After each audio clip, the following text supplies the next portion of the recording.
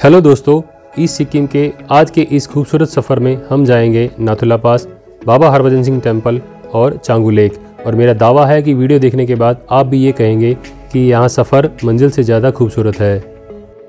वैसे तो गैंगटॉक खुद में ही ईस्ट सिक्किम का एक पार्ट है, लेकिन आपने पिछले एपिसोड में गैंगटॉक के जो लोकल डेस्टिनेशन देखे, उन सबको घूमने के लिए आपको किसी भी ट्रैवल कार्ड या किसी भी परमिट की रिक्वायरमेंट नहीं पड़ेगी। लेकिन अगर आप गैंगटॉक के बाहर ईस्ट सिक्किम या नॉर्थ सिक्किम का टूर करना चाहते हैं तो आपको सिक्किम ट्रैवल कार्ड भी बनवाना पड़ेगा और परमिट के लिए भी अप्लाई करना पड़ेगा सिक्किम ट्रैवल कार्ड और परमिट के लिए आपको क्या करना है, ये मैं आपको वीडियो में आगे चलकर बताऊँगा। ईस्ट सिक्किम के आज के ये तीनों डेस्टिनेशन काफ़ी पॉपुलर डेस्टिनेशन है और गैंगटॉक आने वाला कोई भी टूरिस्ट इन डेस्टिनेशन को मिस नहीं करता है। अगर आप कभी भी यहाँ की जर्नी प्लान करते हैं तो अपने ट्रैवल प्लान को इस तरह प्लान कीजिएगा कि आपको मंडे और ट्यूसडे को ईस्ट सिक्किम के ये डेस्टिनेशन ना करने पड़े। क्योंकि मंडे और ट्यूसडे को नथला पास क्लोज रहता है और उस कंडीशन में आप सिर्फ़ दो ही पॉइंट यानी कि बाबा हरभजन सिंह टेंपल और चांगू लेक ही देख पाएँगे, जिसमें कोई आपको फ़ायदा नहीं होगा और आपको ये मोस्ट पॉपुलर डेस्टिनेशन जो है मिस करना पड़ेगा और आपको लगभग, आपको टैक्सी का चार्जेस भी लगभग उतना ही देना पड़ेगा। तो चलिए करते हैं अपने आज के सफ़र की शुरुआत और वीडियो में बढ़ते हैं आगे। दोस्तों, अगर आपने गैंगटॉक लोकल टूर का मेरा पिछला एपिसोड नहीं देखा है तो उस वीडियो का लिंक मैंने इस वीडियो के डिस्क्रिप्शन बॉक्स में दे दिया है। अगर आप दार्जिलिंग सिक्किम सीरीज़ पूरी देखना चाहते हैं तो उस सीरीज़ का लिंक भी मैंने इस वीडियो के डिस्क्रिप्शन बॉक्स में दे दिया है।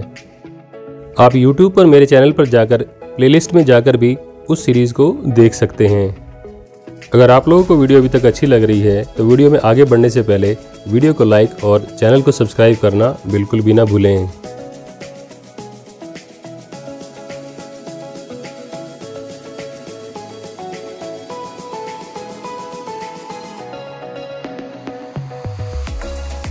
दोस्तों, कल गैंगटोक के लोकल ट्रैवल डेस्टिनेशन देखने के बाद मैं पहुँचा एमजी रोड पर। एमजी रोड पर लंच करने के बाद मुझे अपने कल के दिन की तैयारी करनी थी। और ट्रैवल कार्ड और परमिट वगैरह की रिक्वायरमेंट्स को पूरा करना था। मैं पहुँचा दोस्तों blue sky tour and travels blue sky tour and travels M road के कोने पर ही सिचुएटेड है और बिल्कुल जहाँ पर नेशनल फ्लैग लगा हुआ है, उसी के साथ में ही है। अंदर पहुँचने पर मुझे मिले भाई साहब, जिनका नाम था वांगचुंग भूटिया जी। भूटिया जी की हेल्प से मैंने 10 मिनट के अंदर ही अपना ट्रैवल कार्ड बनवा लिया। क्योंकि मेरे फ़ोन में सभी डॉक्यूमेंट्स अवेलेबल थे। तो इस बात का आप भी ख्याल रखिएगा कि अगर आपको ट्रैवल कार्ड बनवाना है तो आपके फ़ोन में सभी ज़रूरी डॉक्यूमेंट्स होने चाहिए। एक बात का और ख़ास ध्यान रखिएगा कि यहाँ पर आईडी के तौर पर आधार कार्ड नहीं चलता है। तो आप आईडी के तौर पर आधार कार्ड के अलावा अपना वोटिंग कार्ड अपना ड्राइविंग लाइसेंस वगैरह ला सकते हैं। ट्रैवल कार्ड बन जाने के बाद आपको परमिट के लिए अपना फुल वैक्सीनेशन सर्टिफिकेट दो फोटोग्राफ्स और आधार कार्ड के अलावा कोई भी आईडी प्रूफ देना होगा।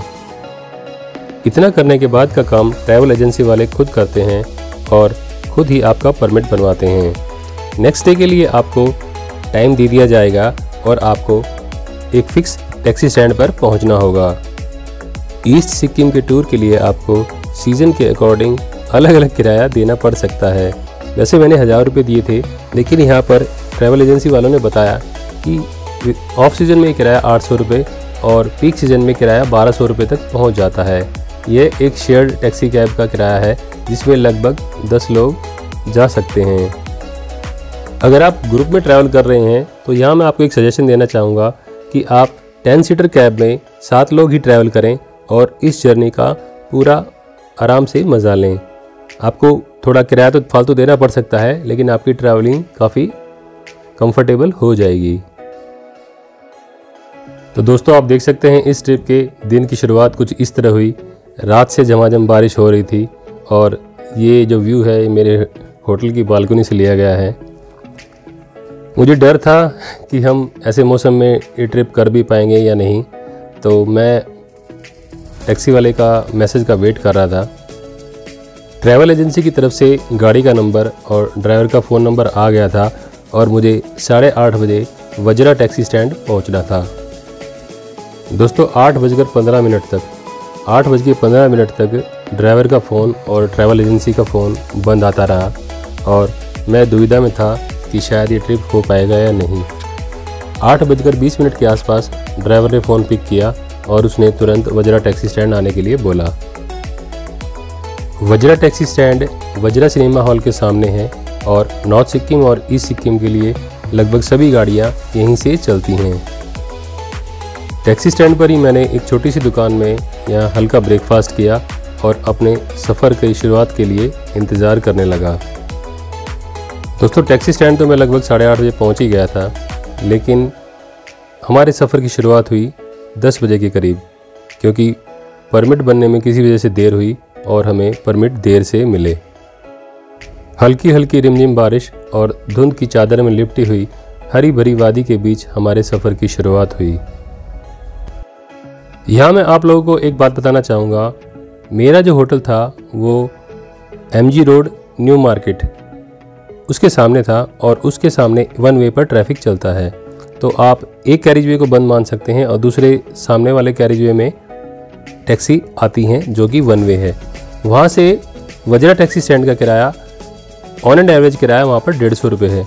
लेकिन टैक्सी वाले आपकी मजबूरी का वहाँ पर फ़ायदा उठाते हैं और ढाई सौ रुपये मांगते हैं, कोई दो सौ रुपये माँगता है। लेकिन अगर आप थोड़ी सी मेहनत करेंगे तो आपको डेढ़ सौ रुपये में वहाँ से टैक्सी मिल जाएगी। मैंने शुरुआत में एक दो बार ज़्यादा किराया दिया, लेकिन बाद में मुझे पता चल गया कि वहाँ पर जो किराया था, न्यू एमजी मार्केट रोड से लेके वजरा टैक्सी स्टैंड तक का स्टैंडर्ड किराया वन हंड्रेड फिफ्टी रुपीज़ ही था। तो आप इस बात का ध्यान रखिएगा और टैक्सी वालों से इस बात के लिए आप प्रॉपर बार्गेनिंग कर सकते हैं। अगर आप एमजी रोड के बिल्कुल स्टार्टिंग में जहाँ पर दोनों कैरिवे बंद हैं, वहाँ पुलिस बूथ के पास या नेशनल फ्लैग के पास उतरते हैं तो वहाँ तक का स्टैंडर्ड किराया वन हंड्रेड रुपीज़ ही है। गैंगटॉक से नाथुला पास का जो टोटल डिस्टेंस है, वो 61 किलोमीटर के आसपास है और ट्रैवलिंग टाइम लगभग दो घंटे का है। लेकिन बीच में आधा घंटे के लिए ब्रेकफास्ट के लिए ब्रेक लिया जाता है तो आप ढाई घंटे के आसपास मानकर चलिएगा। मौसम पूरी तरह साफ़ नहीं था और कभी कभी हल्की हल्की रिमझिम बारिश और कहीं कहीं हल्की हल्की फॉग के बीच हमारा आगे का सफ़र जारी रहा। इस तरह के खूबसूरत सफ़र के दौरान एक शायर की कही गई कुछ लाइनें मुझे अक्सर याद आती हैं। उनका कहना है कि, असली मज़ा मंजिल का नहीं है दोस्तों, असली मज़ा तो सफ़र का है। और मुझे भी कुछ ऐसा ही खूबसूरत एहसास हो रहा था। लगभग डेढ़ घंटे की ट्रैवलिंग के बाद, पहले ब्रेक के लिए हमारी गाड़ी रुकी क्यांग नुसला पर। गैंगटोक के मुकाबले में यहाँ पर ज़्यादा ठंड का एहसास हो रहा था और सबको और ज़्यादा गर्म कपड़ों की ज़रूरत महसूस हो रही थी। क्यांगनोसला की सी लेवल से हाइट गैंगटोक के मुकाबले में लगभग दुगनी है। क्यांगनोसला की जो हाइट है, वो दस हज़ार चार सौ फीट है और गैंगटोक की हाइट पाँच हज़ार 410 फीट के करीब है। मैं अपनी जैकेट साथ लेके आया था और यहाँ मैंने अपनी जैकेट पहन ली। लेकिन कुछ लोग ऐसे भी थे जिनको इस ठंड का अंदाज़ा नहीं था और वो अपने साथ गर्म कपड़े नहीं लाए थे। लेकिन ऐसे केस में चिंता करने की ज़रूरत नहीं है, क्योंकि यहाँ आपको हर तरह की जैकेट, शूज़ और सॉक्स वगैरह और दूसरे गर्म कपड़े, लेडीज़ और जेंट्स और बच्चों के भी आपको तमाम यहाँ पर मिल जाएँगे। और हर ड्रेस का किराया लगभग सौ रुपये के आसपास है। ब्रेक के बाद हमारा आगे का सफ़र दोबारा शुरू हुआ और हम बढ़ चले अपने पहले डेस्टिनेशन की ओर जो था नाथुला पास।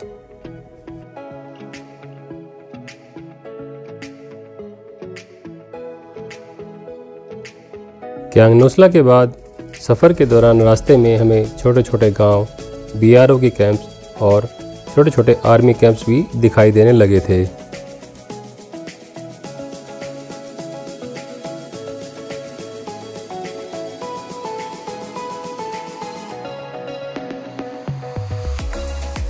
पहाड़ी के टीलों पर बने हुए और रंग बिरंगी छतों से सजे हुए ये कैंप्स और गाँव काफ़ी खूबसूरत दिखाई दे रहे थे। सफ़र इतना सुहाना और खूबसूरत लग रहा था कि हमें मंजिल पर पहुँचने की कोई भी जल्दी नहीं थी। ये जो एरिया आप देख रहे हैं दोस्तों, ये चांगू लेक के आसपास पड़ता है और चांगू लेक को सिक्किम में सोमगो लेक के नाम से भी जाना जाता है। यहाँ पास में सोमगो शॉपिंग कॉम्प्लेक्स भी है।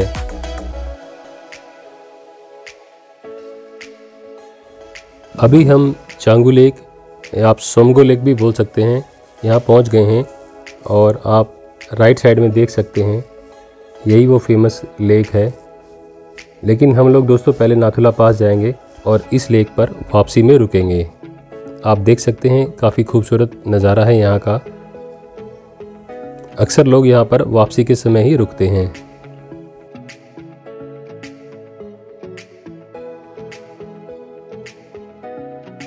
चांगुलेक से नाथुला पास के लिए हमें करीब आधा घंटा और लगना था, क्योंकि यहाँ से नाथुला पास की दूरी लगभग 17 किलोमीटर की और रह जाती है।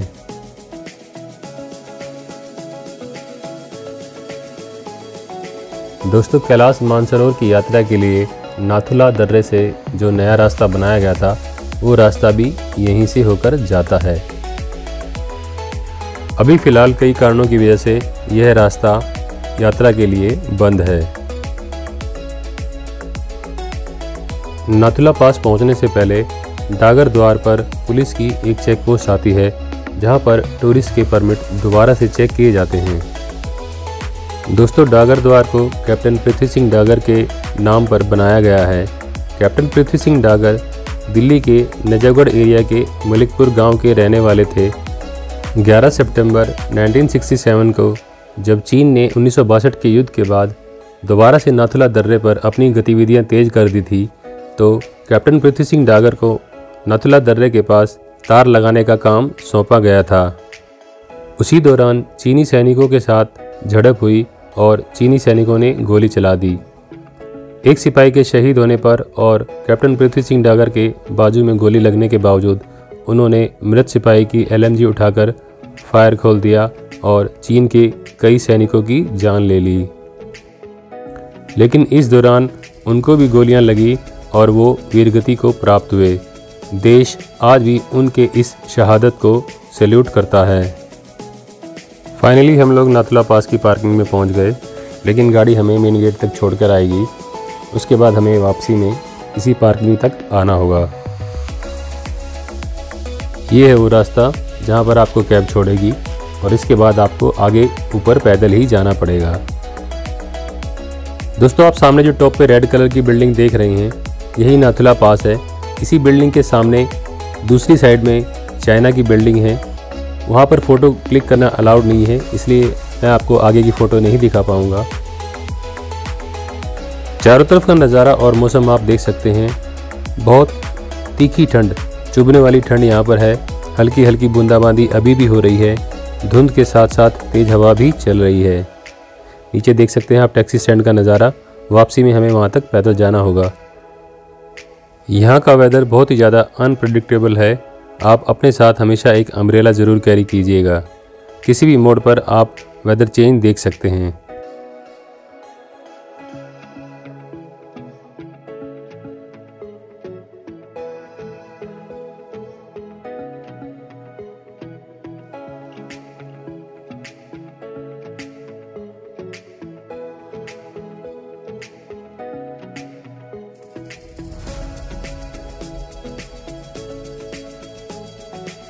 दोस्तों नाथुला पास की हाइट 14,140 फीट के आसपास है।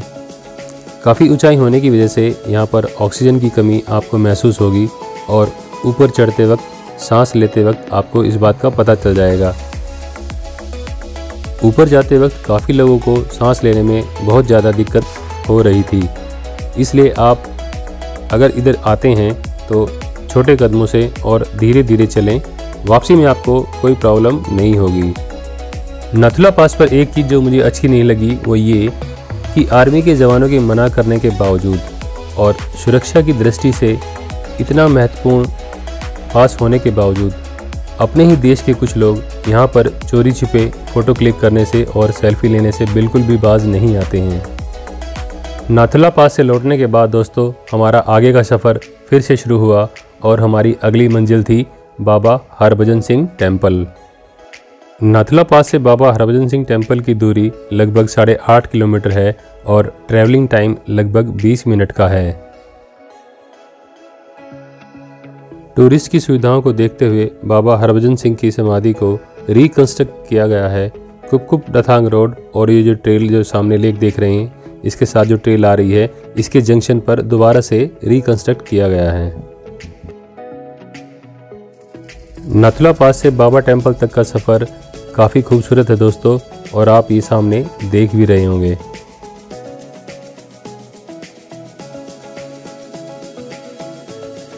अगर आप लोग वीडियो में अभी तक बने हुए हैं तो इसका मतलब है आपको वीडियो अच्छी लग रही है, और अगर आपने अभी तक वीडियो को लाइक और चैनल को सब्सक्राइब नहीं किया है तो वीडियो को लाइक और चैनल को सब्सक्राइब करना बिल्कुल भी मत भूलिएगा। दोस्तों, सफ़र की ये लोकेशन इतनी खूबसूरत हैं कि मन कर रहा था कि गाड़ी को रुकवा कर यहाँ पर फ़ोटो क्लिक की जाए। लेकिन सफ़र काफ़ी लंबा था और हमें अंधेरा होने से पहले वापस पहुँचना था। इस खूबसूरत घाटी से गुजरते वक्त ड्राइवर से काफ़ी रिक्वेस्ट करने के बाद हमने यहाँ कुछ देर के लिए गाड़ी रुकवाई और कुछ फ़ोटो क्लिक की। आप देख सकते हैं, नज़ारा काफ़ी खूबसूरत है और हम लगभग बाबा टेंपल पहुँचने ही वाले हैं।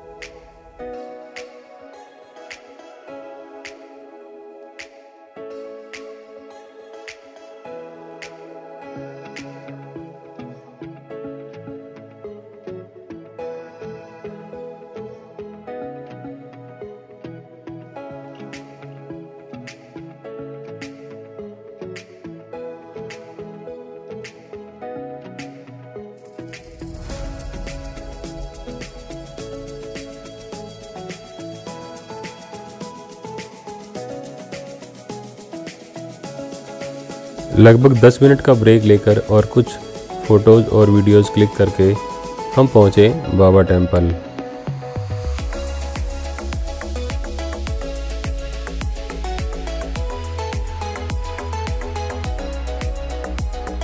बाबा हरभजन सिंह टेंपल के मुख्य परिसर का नज़ारा आप देख सकते हैं। राष्ट्रीय ध्वज के बाईं तरफ़ जो ये मंदिर का परिसर है, यही मंदिर का मुख्य परिसर है। मंदिर के ठीक सामने बाबा हरभजन सिंह की एक प्रतिमा भी लगी हुई है। बाबा हरभजन सिंह का जन्म 30 अगस्त 1946 को गुजरावाला डिस्ट्रिक्ट के सरदाना गाँव में हुआ था, जो फ़िलहाल पाकिस्तान में पड़ता है। 9 फरवरी 1966 को भारतीय सेना में पंजाब रेजिमेंट में सिपाही के रूप में ये भर्ती हुए। 1968 में 23 पंजाब रेजिमेंट के साथ ईस्ट सिक्किम में बाबा जी का देहांत 4 अक्टूबर उन्नीस सौ अड़सठ को उस समय हुआ, जब वो घोड़ों के एक काफिले पर रसद का सामान लेकर जा रहे थे। काफिले को ले जाते समय उनका पैर फिसला और वो एक गहरी खाई में गिर गए।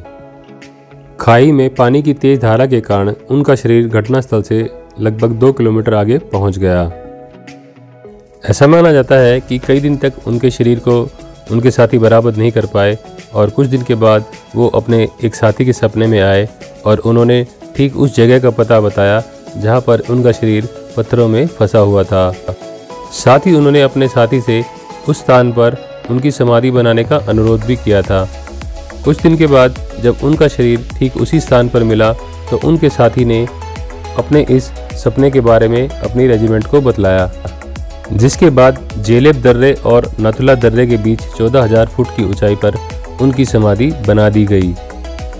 ऐसा माना जाता है कि मृत्यु के बाद भी बाबा हरभजन सिंह अपनी ड्यूटी करते हैं और चीन की सभी गतिविधियों की जानकारी अपने साथियों को सपने में आकर देते हैं। उनके प्रति सेना का इतना विश्वास है कि उन्हें बाकी सभी की तरह वेतन दो महीने की छुट्टी और बाकी फैसिलिटी भी दी जाती थी, हालाँकि अब वो रिटायर हो चुके हैं। दो महीने की छुट्टी के दौरान ट्रेन में उनकी टिकट बुक करवाई जाती और स्थानीय लोग उनका सामान लेकर उनको ट्रेन तक छोड़ने जाते।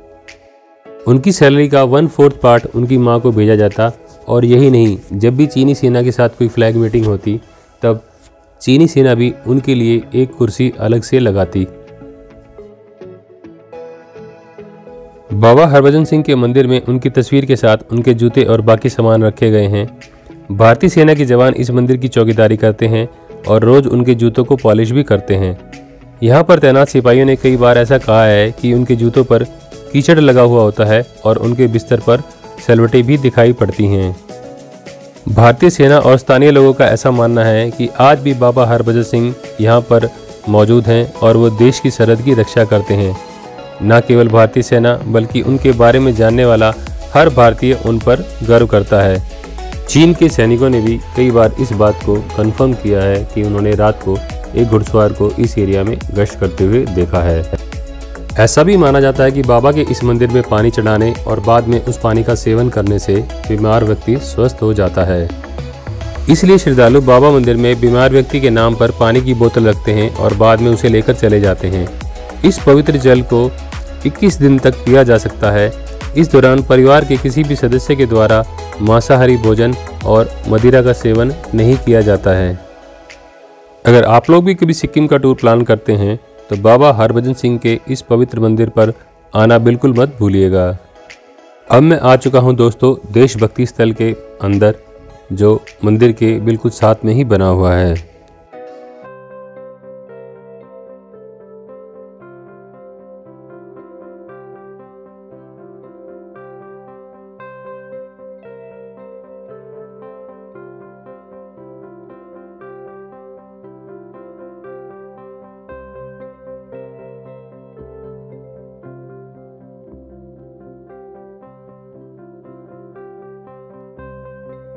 देशभक्ति स्थल के अंदर दोस्तों एक वॉल ऑफ़ ब्लेसिंग भी है। वॉल ऑफ़ ब्लेसिंग पर अलग अलग रेजिमेंट्स और अलग अलग कंपनियों के नाम लिखे गए हैं और उनका टेन्योर लिखा गया है कि उन्होंने कब से कब तक यहाँ पर सेवाएँ दी थी। इन कंपनियों ने अलग अलग समय पर नाथुला दर्रे की सुरक्षा के लिए अपनी अपनी अलग अलग रूप में भूमिकाएँ निभाई हैं।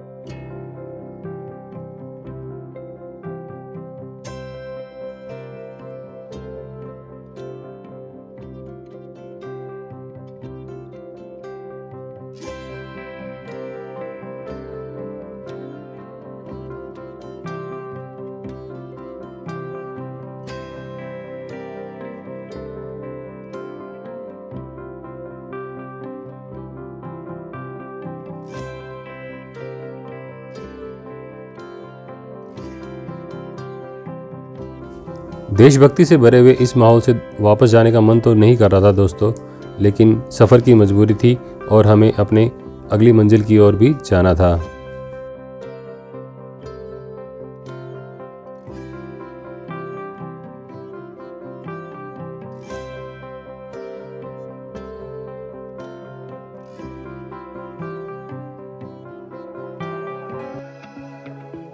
बाबा हरभजन सिंह टेंपल के बाद दोस्तों, हम बढ़ चले अपने अगले डेस्टिनेशन की ओर, जो थी चांगू लेक।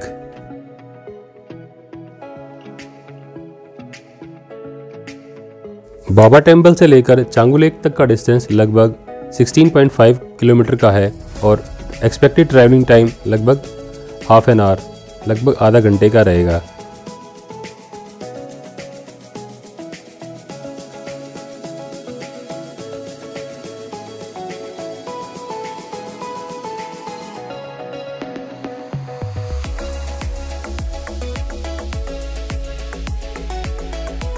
थोड़ी ही देर के बाद हमें ऊपर की तरफ़ से चांगू लेक का खूबसूरत नज़ारा दिखाई देने लगा था और अब हम कुछ ही मिनटों में चांगू लेक पहुँचने वाले थे।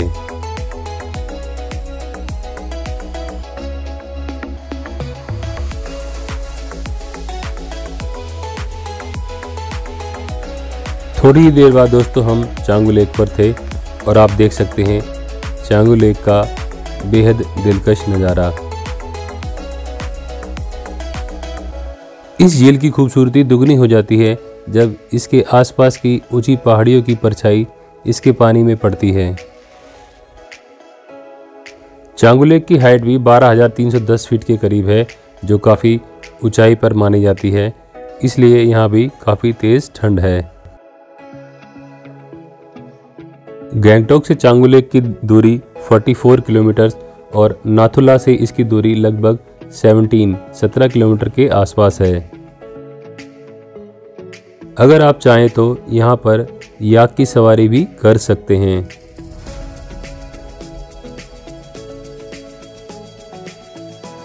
आज का सफ़र दोस्तों हमारा यही चांगू लेक पर ख़त्म हो जाएगा। इसके बाद हम गैंगटॉक वापस जाएँगे और कल की मेरी जर्नी रहेगी नॉर्थ सिक्किम की। नॉर्थ सिक्किम के टूर में मैं आपको अगले वीडियो में दिखाऊँगा गैंगटोक से लेकर लाचेन तक की जर्नी। दोस्तों, जब नेक्स्ट वीडियो अपलोड हो जाएगा तो उस वीडियो का लिंक मैं इस वीडियो के डिस्क्रिप्शन बॉक्स में भी डाल दूँगा। आप इस वीडियो के एंड में जाकर कार्ड पर क्लिक करके भी उस वीडियो को देख पाएँगे। इसके अलावा आप मेरे चैनल पर जाकर प्लेलिस्ट में जाकर पूरी दार्जिलिंग सिक्किम सीरीज़ भी देख सकते हैं। अगर दोस्तों, आपको आज का ये वीडियो अच्छा लगा है और आपने अभी तक वीडियो को लाइक और चैनल को सब्सक्राइब नहीं किया है तो वीडियो को एंड करने से पहले वीडियो को लाइक और चैनल को सब्सक्राइब ज़रूर कीजिएगा। लास्ट तक वीडियो देखने के लिए आपका बहुत बहुत शुक्रिया। मिलते हैं फिर दोबारा अपने नेक्स्ट वीडियो में। तब तक के लिए जय हिंद, जय भारत।